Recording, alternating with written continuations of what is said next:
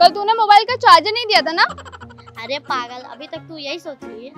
तेरे को एक बात बताऊँ? हाँ। भाई बहन का रिश्ता भी कुछ ऐसा ही होता है।